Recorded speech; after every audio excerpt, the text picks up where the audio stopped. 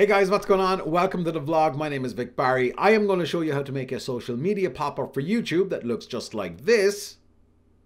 Next.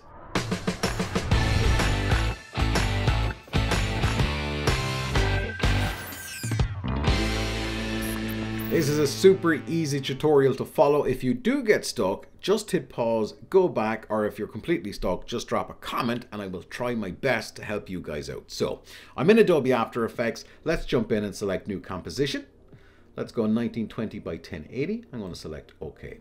So we're going to need an Instagram PNG in this case, or just your Instagram logo. So I'm going to bring Import, Files, I'm to grab my Instagram logo here and a PNG means the background is transparent so we can play with that a little bit more. So I'm going to get my Instagram logo, I'm going to drag it in. We can see it's way too big, right? So the first step is we want to scale this down. Scaling in After Effects, you can hit S on the keyboard for scale or you can just select the arrow here, transform and go to scale. In this case, I'm going to click on the 100, which is 100%, and I'm going to make it 10%. And as long as this chain here is highlighted, it's going to do the X and the Y axis. So it's all kind of scaling down together. Now I'm going to press V for position and I'm going to drag this around and I'm going to put it wherever I want. So I'm going to bring it down here. And the next step is to make this a little bit more stylish. So what we're going to do is we want to get it to appear from nowhere. So we're going to get it to scale from 0 to 10. So what we're going to do is select the scale so we've created a keyframe and a keyframe basically is telling After Effects, hey, there's something happening here, something is changing, and we're going to animate the difference between the two keyframes. So this is keyframe number one, this is up here, this is at 10, so this is the end point, this is the final one it needs to get to.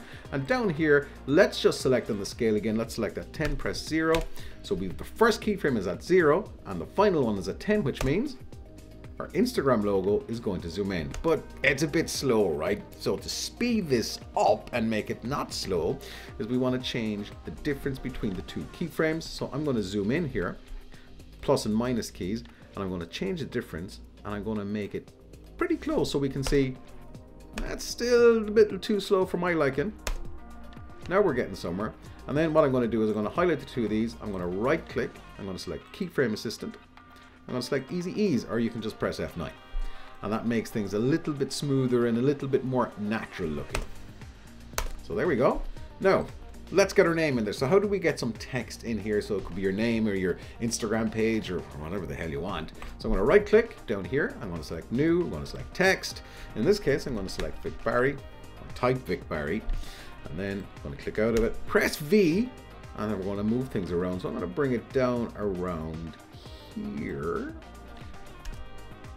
Press caps lock to refresh. And that's it. So we're going, okay, Instagram logo's popping up. The Vic Barry is there. It looks okay, but surely the Vic Barry shouldn't be there. The name shouldn't be there. So we want to change the position. So I'm going to select the text layer here and I'm going to move this. So yeah, once we get to here, once the end of the animation happens, then we get our name up. Comes up a little bit faster, like going, okay, that's not bad. How about if we get just to like type this on? Well, we can do that simply by selecting the window over here. Let's go to effects and presets into the search bar. Let's type type. So we've animated in typewriter. Let's drag this onto the text and we can see there is her name being typed up, which is a little bit slow, but let's speed this up really quickly. Let's select the drop down here next to the text layer. Let's go to text Let's go to animator, range selector. So the start and the end, so we can see here, there's a lot of difference between the two. There's a big space, and if you go back to what I said a minute ago, the shorter the distance between the keyframes, the faster the action happens. So let's do that. Simply click out, and let's bring this one a little bit closer. So now we can see it's happening a lot quicker. So Instagram logo in, and there's her name. Boom. Great.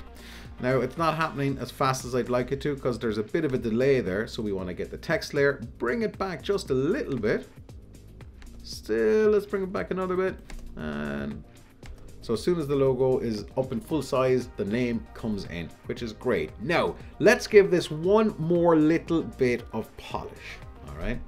And this is all to do with the Instagram logo. So I'm to select scale. I'm going to make sure two keyframes are highlighted. And then I'm going to select the graph editor. Don't freak out, okay? Do not freak out. We will get there. So the graph editor, sometimes depending, it might be the wrong graph that pops up. So we can select this one here and we want the value graph in this case. So I'm going to highlight the keyframe by dragging the mouse over it. I'm going to make sure convert selected keyframes to auto bezier is selected and then I'm going to drag this up. So what's going to happen is the following. Let's watch. See that nice little snapback with the Instagram logo?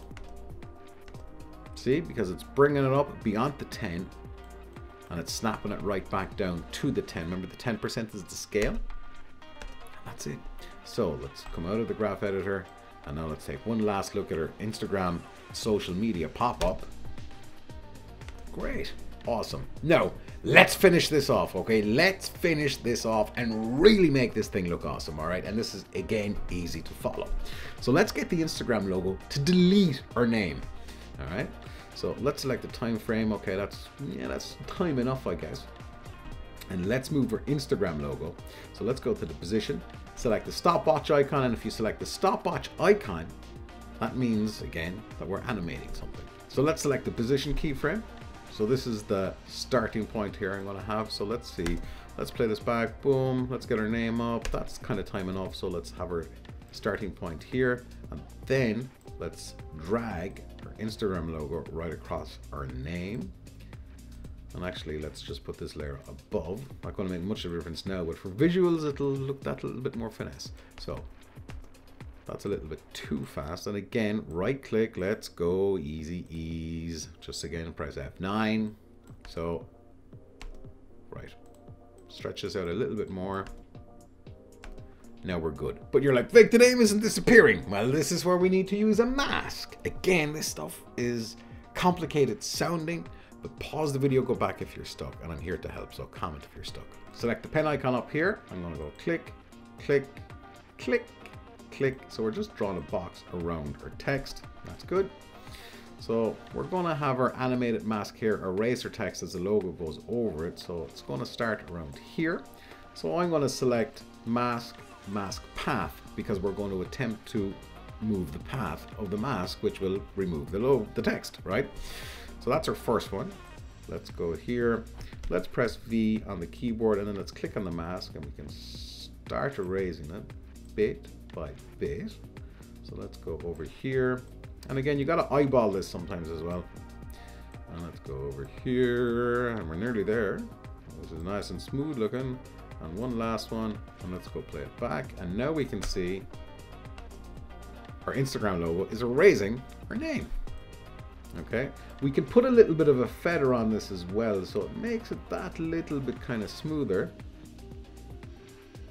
So if we go back to the start, boom, name, boom, gone. No, let's do one final thing to make this really professional looking. All right, let's make the Instagram logo disappear. All right, that's really simple. So we're on the Instagram logo layer. We want it to kind of disappear around here and we're going to select another keyframe here for scale. So we're on scale. This little dot here is going to select and create a keyframe so we can see that. And let's scale it down to zero. And if we look, boom, it's gone. Just like that. So in, pop in, name types in, and let's erase the logo and boom, it's gone. See, it is as easy as that to create your very own social media pop for YouTube now. There's one last thing. You want to do one last thing? We're going to create a MOGRT, a motion graphics template, which is allowing you to bring this into Adobe Premiere and change the text whenever, wherever you want to do all kinds of things with it. All right, this is really easy to do, so don't freak out. We're going to create a MOGRT, a motion graphics template, which is allowing you to bring this into Adobe Premiere and change the text whenever, wherever you want to do all kinds of things with it. All right, this is really easy to do, so don't freak out. What we need to do is select window. We need to make sure essential graphics is ticked. We need to select a composition. In this case, it's comp one. We want to give it a name. Insta social pop-up is what I'm going to call it. And then we're going to select solo supported properties. So what this does, it'll highlight everything down here that you can actually bring into the MOGRT and make modifications to in Adobe Premiere. So I'm going to select select solo properties. Uh, what we want is the source text. So I'm going to drag this up. Boom, source text is there. So I'm just going to call this text. So that's what it's going to appear in Premiere. And then if we select edit properties, let's bring this in, we can enable a custom font selection. So you can change whatever the font you want in Premiere. You can change the font size, the font styles, all that in, select OK. So that's all ready to go. Are we ready to, are we ready for the final piece of magic? Export motion graphics template. So let's select this. We want to save it. Yes, we do. Now we want to stick this somewhere. Okay, so we're going to go browse. I'm going to give it another name here. Insta Social Pop-Up 2019. I'm going to select. I'm in Adobe Premiere. If you don't see Essential Graphics, then all you got to do is select Window, select Essential Graphics. Now let's import the MOGRT that we just made in After Effects. Select the plus symbol down here. Let's go into the Social Pop-Up 2019. And that's in there. So let's type it in, INSTA, searching, here we go. And then let's just drag and drop it on. So let's zoom in a little bit here. Boom. There is our social media pop-up. Just like that. See, how easy was that? Now, if we want to make some changes to that, let's click it and make sure edit is selected so we can scroll in here so we can actually see our pop-up. We can change the font because remember, on the solo supported properties, we edited that and we changed everything. So we can change all of these things here. We can make it bigger, smaller. Keep in mind that your mask will screw up possibly the size that you can play around with your font. So keep that in mind. And that is how you create an amazing, easy social media pop-up for YouTube. If you do get stuck, drop me a comment, I'll help you out. And if you want to see some more tutorials for you to make better content, also hit the like button. And if I see lots of likes, then I'll know, okay, more tutorials. Thanks for watching, guys. We'll see you in the next episode of the vlog. And until then, don't stop fighting for yourself. I'm not ah, sure that was the best. yeah, I don't know. Do you think they'd like the new the new look? I kind of, I kind of, I kind of like it. Yeah. Yeah, you don't like it? You don't like anything, do you? You're really difficult.